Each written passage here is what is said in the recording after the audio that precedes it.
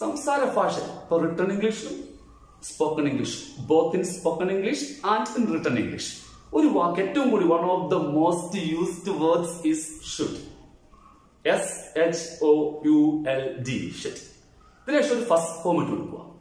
Should എന്ന വാക്കിന് നമ്മൾ മലയാളത്തിൽ ഞാൻ ട്രിക്ക് പറഞ്ഞു നം നം എന്ന് പഠിക്കുക നം തൽക്കാലം പലരും ചോദിക്കും ഇങ്ങനെയൊക്കെ ഉണ്ടോ എന്ന് ചോദിക്കുമായിരിക്കാം. നിങ്ങൾ വിമർശനത്തിലൊന്നും നമ്മൾ ഇത് നിന്ന് കൊടുക്കണ്ട. നിങ്ങൾ നം എന്ന് പഠിക്കൂ പ്ലസ് ഒരു ഫസ്റ്റ് ഫോം നിങ്ങൾക്കറിയാൻ എത്രയോ വാക്കുണ്ട്. എഴുതുക എന്നുള്ള വാക്ക് നമുക്ക് എല്ലാവർക്കും അറിയാം. റൈറ്റ് എന്നാണ്.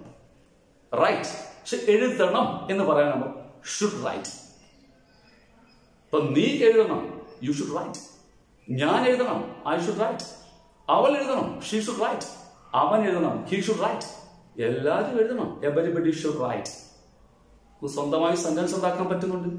ഷുഡ് എന്ന വാക്കിന് നം. പ്ലസ് ഒരു ഫസ്റ്റ് ഫോം ഇപ്പൊ സ്നേഹിക്കുക. നമുക്കറിയാം love L O V E love സ്നേഹിക്കണം. നീ സ്നേഹിക്കണം. യു ഷുഡ് ലവ് നീ ഇംഗ്ലീഷ് ലാംഗ്വേജിനെ സ്നേഹിക്കണം. You should love English language നീ നിന്റെ പേരൻസിനെ സ്നേഹിക്കണം.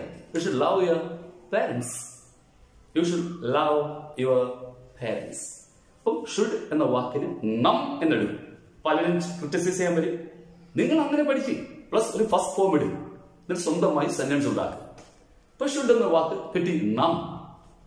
ഇപ്പൊ ശ്രമിക്കുക വാക്ക് നമുക്കറിയാം ട്രൈ നമുക്കറിയാം first try try try try it it എന്ന് പറയണ്ട. പല മലയാളികളും പറയും കിക്ക് കിക്ക് കിക്കിട് കിക്ക് നോക്ക് നോക്ക് നോക്കിട് നോക്കിട് ഇട്. എന്ന് കടിപ്പിച്ച് പറയണ്ട.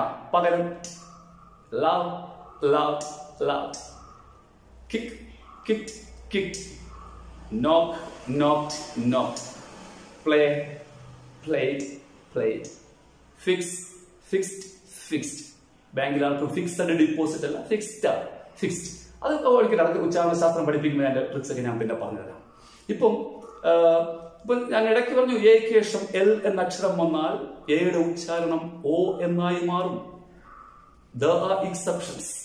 There are exceptions. You should understand that there are exceptions in English language. Exceptions ഉണ്ട് എക്ക് ശേഷം എൽ എന്ന അക്ഷരം വന്നാൽ എയുടെ ഉച്ചാരണം ഓ എന്നാക്കുക. ഓ ആൾ നമുക്കറിയാം all. All always always although although call call small small fall fall Alexander. Alexander അല്ല അലക്സാണ്ടർ തന്നെയാണ്.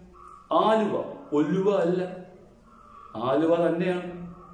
So I have already told you I have already told you English is a language of exceptions English is a language of exceptions flexibility adaptability ഒക്കെ ഉള്ള language അതൊക്കെ എന്താണ്? കുറച്ച് കുറച്ച് ഇത് കേൾക്കുമ്പോൾ നിങ്ങൾക്ക് മനസ്സിലാവും. ഇപ്പം ഷുഡ് എന്നൊരു വാക്ക് പഠിപ്പിച്ചു നം പ്ലസ് അതിനുശേഷം ഒരു ഫസ്റ്റ് ഫോം ഇടുക സ്വന്തമായി സെന്റൻസ് ഉണ്ടാകും അപ്പൊ നീ എന്റെ വീട്ടിൽ വരണം. You should come to my home you should come to my house you should come to my house house of home വ്യത്യാസം എന്താ വെച്ചാൽ a house is built of bricks but a home is built of love hearts അത് എന്താണെങ്കിൽ അത് അതൊന്നും ഇവിടെ analyse ചെയ്യുന്നില്ല. Okay you should you should invite me you should call me at night നിന്റെ രാത്രി വിളിക്കണം. You should call me at night നീ ശ്രമിക്കണം. യു ഷുഡ് ട്രൈ നീ ഇംഗ്ലീഷ് സംസാരിക്കാൻ ശ്രമിക്കണം. You should try to speak English നീ പഠിക്കണം. യു ഷുഡ് ലേൺ ഷുഡ് എന്ന വാക്കിന് നം എന്ന് കിട്ടി. ഇത് ഞാൻ നിങ്ങളോട് പറഞ്ഞു തരുന്നു. ഇംഗ്ലീഷിൽ എല്ലാ മലയാളികളും മനസ്സിലാക്കേണ്ട ഒരു കാര്യം വളരെ അടിസ്ഥാനപരമായി മനസ്സിലാക്കേണ്ട ഒരു കാര്യം വെച്ചാൽ നമുക്കറിയാം പല നമ്മളിൽ പലർക്കും അത്യാവശ്യം ഒരുമാതിരിയൊക്കെ ഇംഗ്ലീഷൊക്കെ സംസാരിക്കാൻ അറിയാം പക്ഷെ നമ്മുടെ മെയിൻ പ്രശ്നം ഫ്ലുവൻസി കിട്ടുന്നില്ല ഒഴുക്ക് കിട്ടുന്നില്ല.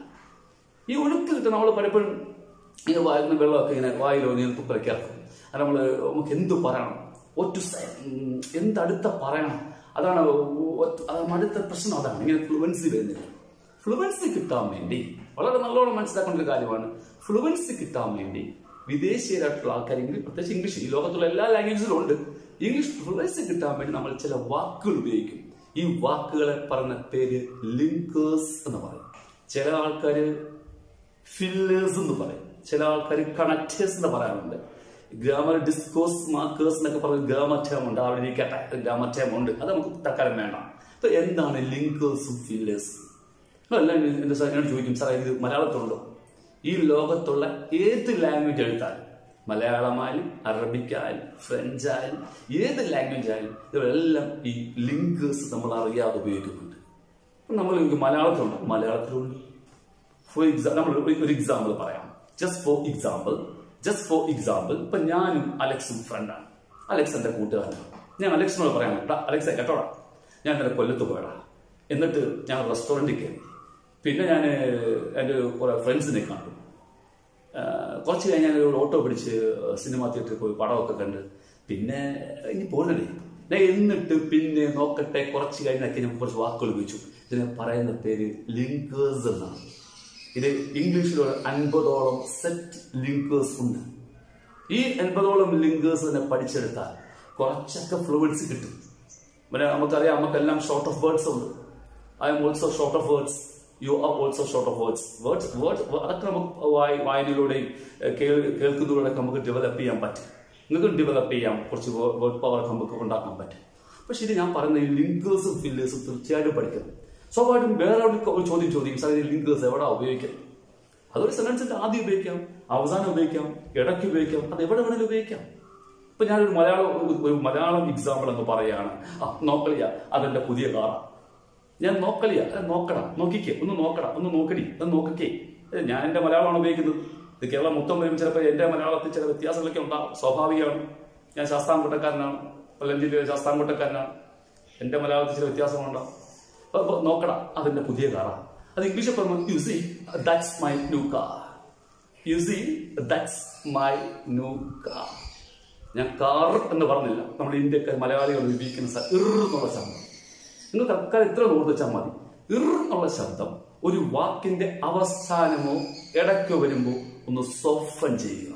സോഫണിറ്റ് സോഫണിറ്റ് ഏത് ശബ്ദം? ഇർ. അക്ഷരം നോക്കണ്ട. ഇർ എന്നുള്ള ശബ്ദം. ഒരു വാക്കിന്റെ അവസാനമോ ഇടയ്ക്കോ വരുമോ മധ്യഭാഗത്ത് വരുമോ ഒന്ന് സോഫൺ ചെയ്ത് കൊടുക്കുക ഇപ്പൊ നമുക്കറിയാം ഇപ്പൊ നമ്മളെല്ലാം പറയാം birthday birthday shirt shirt door door car bar bar ഒരു സായി പറയാണ് ഓ ലെറ്റ്സ് ഗോ അപ്പൊ അവർ അവന്റെ ഒരു എക്സെന്റ് ഒക്കെ അവൻ ഉപയോഗിച്ചു. ദാസ് ലെറ്റ്സ് ഗോ അപ്പൊ നമ്മളൊരു മലയാളിയാണ് പറയും there is a bar let's go നമുക്ക് ക്ലിയർ ആയി there is a bar let's go clear ആയി പക്ഷെ അവൻ പറയും ദസ് ബാ ലെറ്റ്സ് ഗോ ഒന്നുമില്ല ദർ ഈസ് ഒന്നിപ്പിച്ച് ദസ് എന്നാക്കി.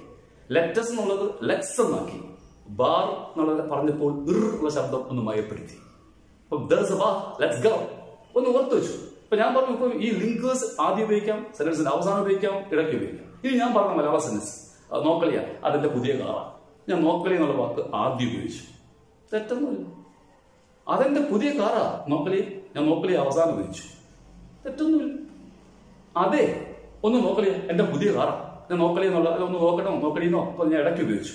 അപ്പൊ ഇംഗ്ലീഷിൽ ഇങ്ങനെ പറയാം. ഇപ്പൊ you see that's my new car ഞാൻ യൂസി ആദ്യം ഉപയോഗിച്ചു. That's my new car you see ഞാൻ യൂസി അവസാനം ഉപയോഗിച്ചു. That's you see my new car ഞാൻ യു സി ഇടയ്ക്ക് ഉപയോഗിച്ചു. എവിടെ വേണേലും ലിങ്കേഴ്സും ഫില്ലേഴ്സും ഉപയോഗിക്കാം.